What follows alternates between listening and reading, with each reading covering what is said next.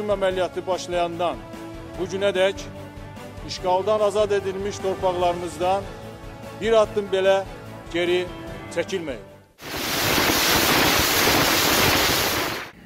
Bugün ölkəmiz üçün tarixi bir gündür. Bugün Ermənistan-Azərbaycan Dağlı Qarabağ münaqişəsinə son qoyulur.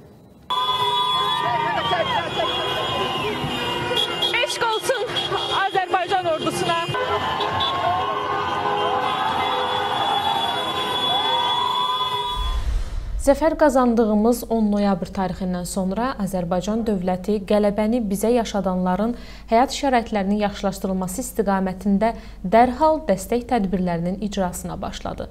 Məhz elə bu buraxılışımızda Vətən müharibəsi şəhidlərimizin ailə üzvlərinin, müharibə iştirakçılarının, qazilərimizin, ümumiyyətlə erməni terrorundan əziyyət çəkən vətəndaşlarımızın hansı güzəşt və imtiyazlardan yararlana biləcəyi barədə məlumatlı olacaqsınız. Bu yöndə böyük bir yük Əmək və Əhalinin Sosial Müdafiəsi Nazirliyinin üzərinə düşür. 20 dəqiqə ərzində Nazirliyin təqdim etdiyi həmin güzəşt və imtiyazlar barədə sizə ətraflı və dolğun şəkildə məlumat verməyə çalışacağıq. Dəstək proqramlarına sosial təminat hüquqlarının çevik reallaşdırılması və sosial ödənişlərin proaktiv təyinatı, sosial-psixoloji dəstək, reabilitasiya xidmətləri və vasitələri ilə təminat, maddi yardım, məşğulluq məsələlərinin operativ həlli, kiçik biznesə çıxışına dəstəyin göstərilməsi, mənzil məişət şəraitlərinin yaxşılaşdırılması və sadalamadığım daha bir çox tədbirlərə aiddir. Haqqında danışacağımız imtiyazlardan biri həmin kateqoriyaya daxil olan şəxslərin sosial təminat hüququdur, yəni pensiya, təqaüd və müavinət təyinatı. Məsələn, bu günədək 2922 hərbçi şəhidin 7700 ailə üzvünə 15300-ədək sosial ödəniş təyinatı aparılıb. Bu proses yekunlaşmaq üzrədir. 83 mülki şəhidin 208 ailə üzvünə isə 432 sosial ödəniş təyinatı aparılıb. Həmin kateqoriyadan olan şəxslərin məişət şəraitinin yaxşılaşdırılması üçün təyin olunan sosial ödənişlərdə isə demək olar ki, daimi olaraq artım nəzərə çarpmaqdadır. Biz ümumilikdə əgər 2018-ci e, illə müqayisə etmiş olsaq, fakt üzərindən 2018-in 8-ci ayı ilə 2021-ci ilin 8 ayı ilə müqayisə etsək, söz fakt üzərindən sosial ödəniş xərclərində təxminən 1.3 milyardlıq bir e, artım var. Bu xərclər əhali ödənilir. Eyni zamanda qruplar üzrə baxdıqda burada pensiya xərclərində 32% bir artım var fakt üzərindən.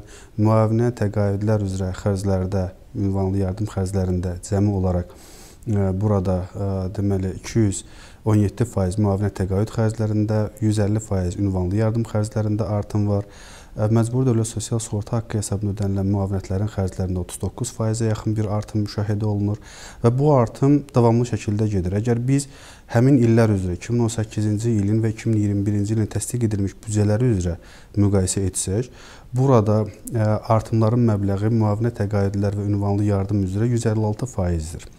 Yəni bu qədər artımlar bu kəsimdə olan, həssas qrupda olan insanlarımıza ödənilir və onların maddi rifahının yaxşılaşdırılması istiqamətində davamlı tədbirlər görülür. Eləcə də pensiya xərclərində də biz müqayisə etdikdə 2018-ci ilin təsdiq edilmiş büdcəsi ilə 2021-ci ilin təsdiq edilmiş büdcəsi arasında burada da bir 39%lik bir artım müşahidə edirik.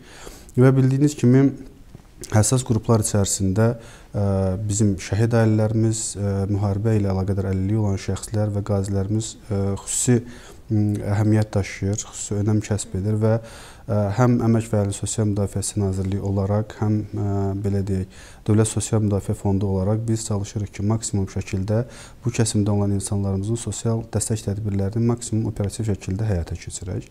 Və bununla da bağlı olaraq zəfərlə başa çatan 44 günlük vətən müharibəsindən sonra Dövlət Sosial Müdafiə Fondu tərəfindən operativ şəkildə bu işlər həyata keçirilib və bildiyiniz kimi 2020-ci ilin dekabr ayında ölkə başçımızın müvafiq e, tapşırığına uyğun olaraq e, bu kəsimdən olan şəxslərə verilən təqaüdlərin məbləğində orta hesabla 60%lik bir artım oldu. Yeni təqaüd növləri təsis olundu.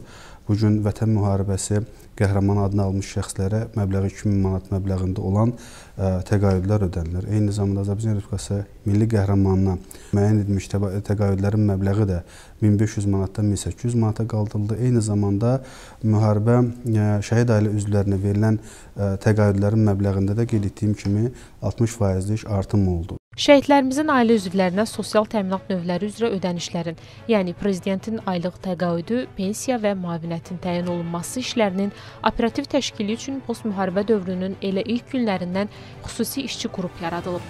Göstərilən bu xidmətlərin maksimum şəffaf, əlçatan və proaktiv olması məqsədi ilə tədbirlər görülür. Bu yaxınlarda şəhid adına bədləşdirilməsi ilə bağlı Azərbaycan Respublikasının qanununa müvafiq e, dəyişikliklər edildi və həmin dəyişikliklərə uyğun olaraq şəhid ailəsi, şəhid və şəhid ailəsi statusu almış şəxslərin vahid elektron bazasının yaradılması məqsədi ilə də ə, e, tədbirlərin görülməsi tapşırığı qoyulmuşdur və ona uyğun olaraq Hazırda Nazirlik tərəfindən bu bazanın yaradılması, bu sistemin alt sistemin formalaşdırılması istiqamətində işlər görülür.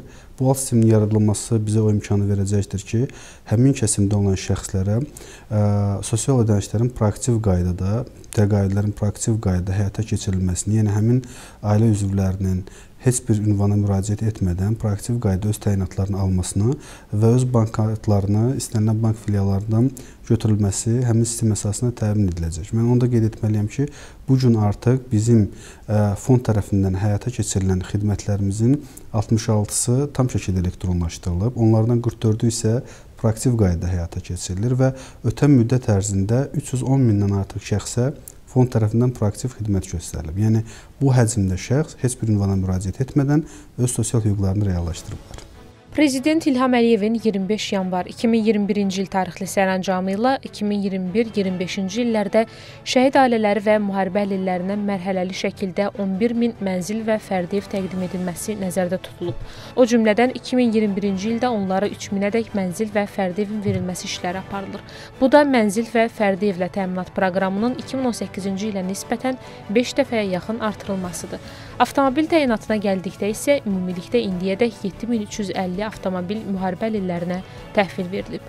Cənab Prezidentin müvafiq tapşırığına uyğun olaraq keçmiş məcburi köçkünlər üçün nəzərdə tutulmuş yaşayış kompleksləri Əmək və Əhalinin Sosial Müdafiəsi Nazirliyinə tə təqdim olundu və bunun əsasında mənzil təminatına başlanıldı.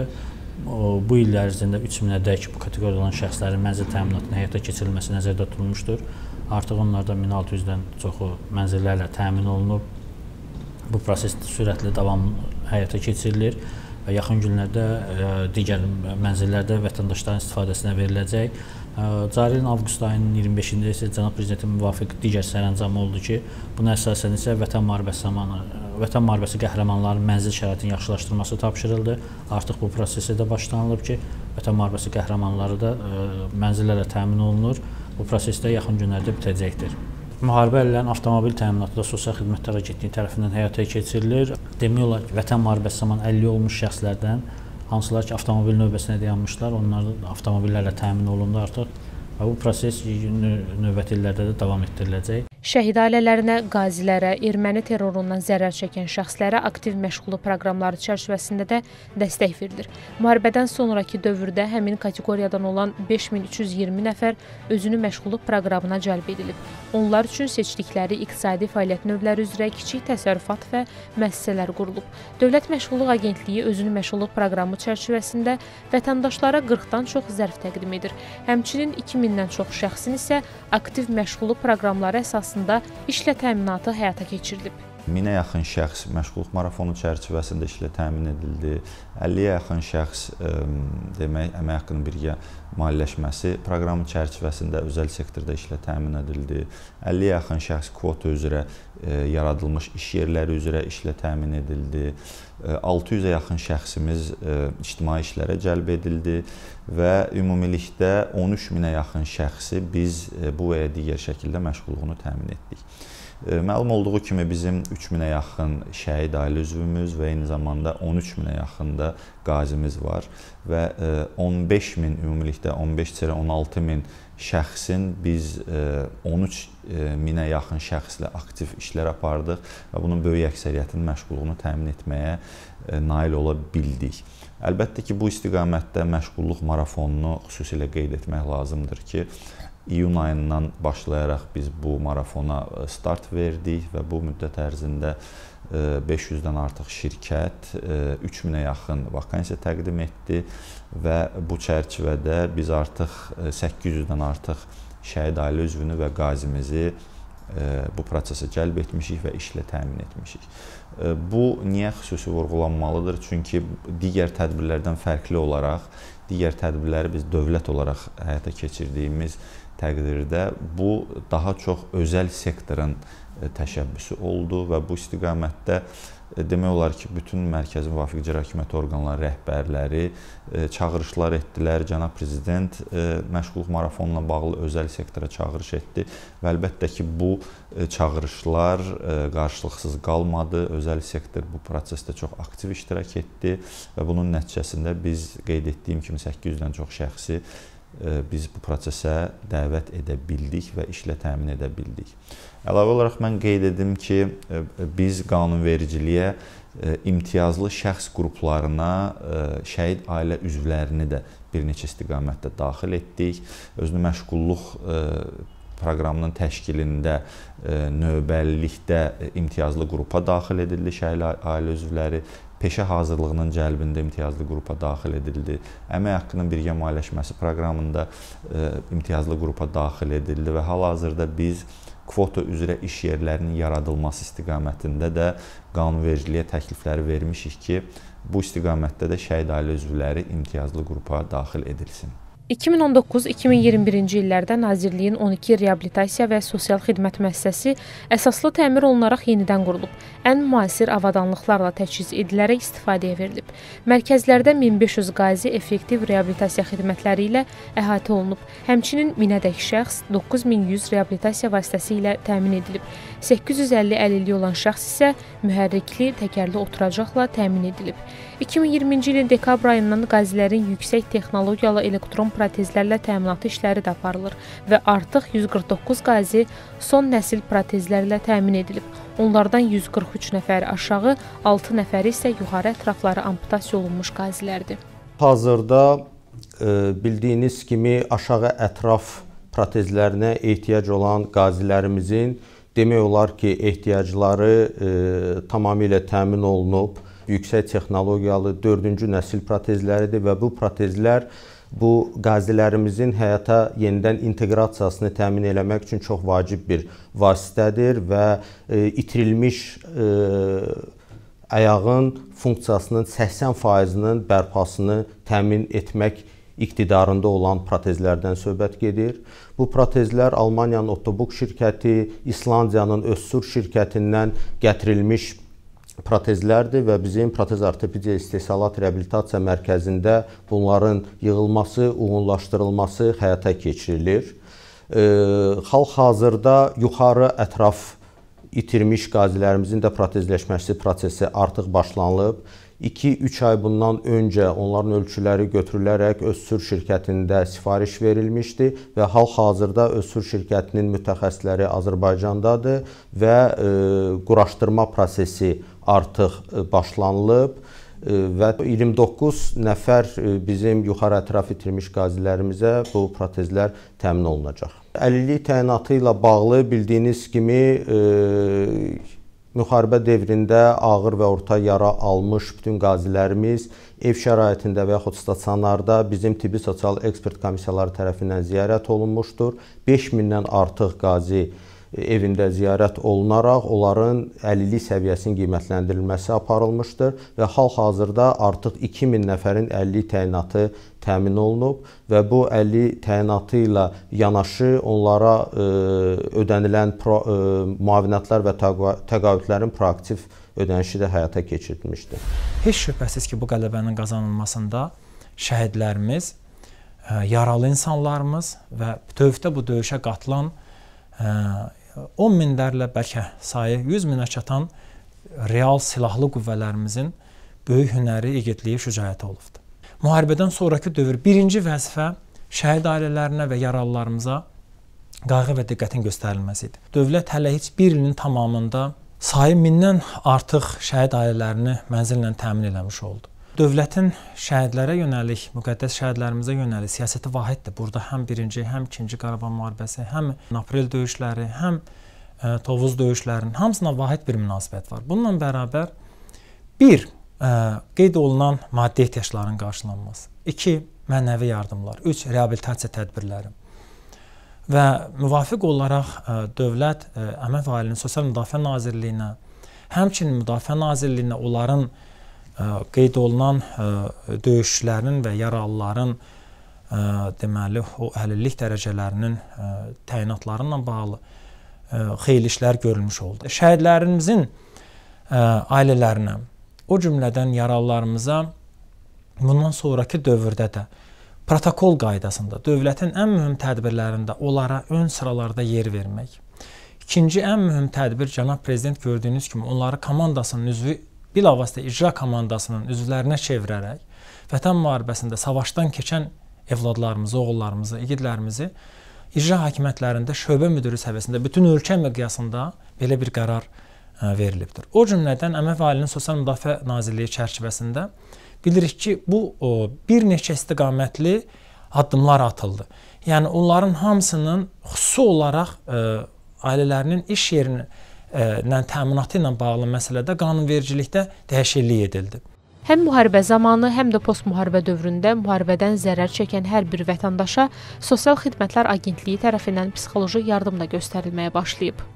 Bu ilkin olaraq Gəncə şəhərində bir erməni silahlı qüvvələr tərəfindən hücum olunmuşdu. O zaman ya, zərər çəkmiş mülki şəxslərə psixoloji yardım göstərməyə başladı və Bundan sonra artıq ə, e, Vətən müharibəsi zamanı şəhid olmuş şəxslərin ali üzvlərinə psixoloji yardım göstərildi. Bundan başqa ə, e, onlayn psixoloji yardım xidmətini göstərməyə başladıq. Bu günə kimi 3000 ailənin 10000 e, ailə üzvünə psixoloji yardım göstərilib. Bundan başqa qeyd etdiyim kimi onlayn psixoloji xidmət göstərilib ki, bunlar burada 1100 nəfər müraciət etmişdi ki, agentliyin əməkdaşları tərəfindən onlara psixoloji xidmətlər göstərilmişdir. Əmək və Əhalinin Sosial Müdafiəsi Nazirliyinin təqdim etdiyi bütün bu xidmətlərdən sadəcə bir pəncərədən yararlanmaq olar. Bu ancaq dost mərkəzlərində mümkündür.